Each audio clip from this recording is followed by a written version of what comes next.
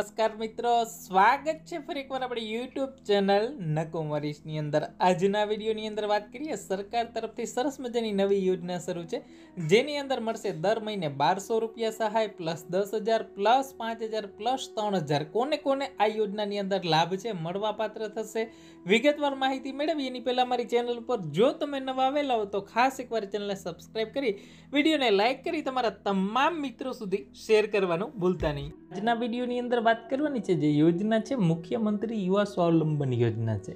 આ યોજના અંતર્ગત વિદ્યાર્થીઓને છે, ટ્યુશન ફી તો મળે જ છે સહાય, સાથે સાથે છે રહેવા અને જમવા માટે પણ સરકાર સહાય આપે છે, સાથે સાધનો અને પુસ્તકો ખરીદવા માટે પણ સરકાર સહાય આપે છે. યોજનાની વિગતવાર આજના વિડીયોની અંદર વાત કરવાની છે. ખાસ આ વીડિયો છે તમારા તમામ મિત્રો અને ગ્રુપની અંદર શેર કરવાનું ભૂલતા નહીં. વાત આ યોજનાનો લાભ છે કોને કોને મળશે? જે લોકોએ ધોરણ દસ પાસ કરેલું હોય અથવા તો ધોરણ બાર પાસ કરી અને સ્નાતક કક્ષાની અંદર અથવા ડિપ્લોમાની અંદર. ચાલુ શૈક્ષણિક વર્ષ બે હજાર બાવીસ ત્રેવીસની અંદર અભ્યાસની અંદર છે, પ્રવેશ મેળવેલો હોય પ્રથમ વર્ષની અંદર. એવા વિદ્યાર્થીઓને સહાય મળે છે અથવા તો ડિપ્લોમાની પરીક્ષા પાસ કરીને ડિગ્રીના અભ્યાસક્રમની અંદર. એટલે કે ડી ટુ ડીની અંદર પ્રવેશ મેળવેલો હોય એવા વિદ્યાર્થીઓને પણ સહાય છે, મળવાપાત્ર થશે. ધોરણ બાર પાસ કરીને કોઈ પણ સ્નાતકની અંદર, ધોરણ દસ પછી ડિપ્લોમાની અંદર અથવા ડિપ્લોમા પછી ડિગ્રીની અંદર. એવા લોકોને છે રહેવા જમવા માટે છે, તાલુકાની બહાર હોય, બરાબર અભ્યાસ કરતા હોય અને સરકારી કે અનુદાતિત છાત્રાલયમાં પ્રવેશ ન મળ્યો હોય. સરકારી છાત્રાલય ફોર એક્ઝામ્પલ તમને વાત કરું કે ભાઈ આદર્શ નિવાસી શાળા હોય, બરાબર, જે આદર્શ હોસ્ટેલ હોય, તો એવા લોકોને સહાય ના મળે. કારણ કે ત્યાં રહેવાને જમવા માટે છે, સરકાર મફત આપતી હોય. પણ પ્રાઇવેટની અંદર કોઈ હોસ્ટેલમાં રહેતા હોય તો વિદ્યાર્થીઓને દર મહિને બારસો રૂપિયા લે કે સહાય છે મળવાપાત્ર થશે.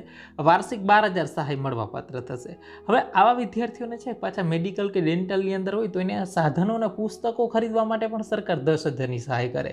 કોઈ એન્જિનિયરિંગની અંદર, બરાબર, ટેકનોલોજીની અંદર, ફાર્મસીની અંદર આર્ટિટેક્ચરની અંદર કે બી કરતા હોય એવા લોકોને પાંચ હજારની સહાય કરે છે અને ડિપ્લોમાવાળા વિદ્યાર્થી હોય એને ત્રણ હજાર, પ્રથમ એક વર્ષની અંદર છે આ સહાય મળવાપાત્ર થશે મિત્રો.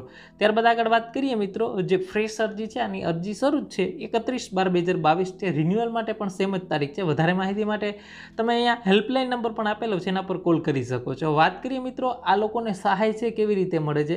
તો કે ભાઈ એન્જિનિયરિંગની અંદર હોય ફાર્મસીની અંદર આર્કિટેક્ચરની અંદર એગ્રીકલ્ચરની અંદર physiotherapy ayurvedic homeopathy paramedical veterinary જેવા સરકારમાંની સંસ્થાના સ્નાતક કક્ષાના જે સ્વનિર્ભય અભ્યાસક્રમ માટે છે, વાર્ષિક ટ્યુશન ફીના પચાસ ટકા અથવા રૂપિયા પચાસ હજાર જે મળવાપાત્ર થશે. સરકારમાંની સંસ્થાની અંદર મેડિકલ ડેન્ટલની અંદર હોય તો એવા લોકોને ફીના પચાસ ટકા એને બે લાખ સુધી મળે સહાય. સરકારમાંની સંસ્થામાંથી ડિપ્લોમાની અંદર હોય તો એને પચાસ ટકા એટલે એમાં પચીસ હજારની સહાય મળશે. અને ત્યારબાદ બીએસસી કરતા હોય બીકોમ બીએ બીબીએ બીસીએ બરાબર. જેવા સરકારમાંની સંસ્થામાંથી છે, એ કહેવાય ને કે સ્વનિર્ભર અભ્યાસક્રમ માટે જે ટ્યુશન ફીના પચાસ ટકા લે, એ લોકોને દસ હજાર સહાય મળશે.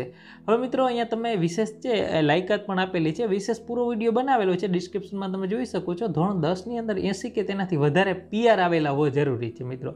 અને ડિપ્લોમાની અંદર જે પરીક્ષાની પાસ કરેલી હોય, ડી ટુ ડીમાં હોય, તો પાસઠ ટકા આવેલા હોવા જરૂરી છે. અને ધોરણ વિજ્ઞાન પ્રવાહની અંદર પણ એંસી પીઆર આવેલા હોવા જરૂરી છે. અને છ લાખ છે, એ કુટુંબની વાર્ષિક આવક ધરાવતી હોવી જરૂરી છે. વધારે માહિતી માટે ખાસ ડોક્યુમેન્ટનું લિસ્ટ અને તમામ વસ્તુ જોવી હોય પર્સનલી વીડિયો બનાવેલો છે ડિસ્ક્રિપ્શનમાં લિંક આપેલી છે તો ખાસ એકવાર વિઝિટ કરજો. અને કાંઈ પણ માહિતીની ક્વેરી લાગતી હોય તો તમે ડિસ્ક્રિપ્શનમાં વિશેષ કોમેન્ટ પણ કરી શકો છો. વિશેષ વિડીયોને લાઇક કરી દો. તમારા તમામ મિત્રો સુધી છે વિશેષ શેર કરવાનું પણ ભૂલતા નહીં અને ખાસ જે લોકો છે ફ્રેશ રિન્યુઅલ વિદ્યાર્થીઓ એના માટે અમે વીડિયો પણ બનાવેલો છે. તો વિશેષ છે અને માટેની જે હેલ્પલાઇન છે અને તમે હેલ્પલાઇન નંબર પણ જોઈ શકો છો. કાંઈ પણ ક્વેરી લાગે તો તમે કોમેન્ટ કરી શકો છો.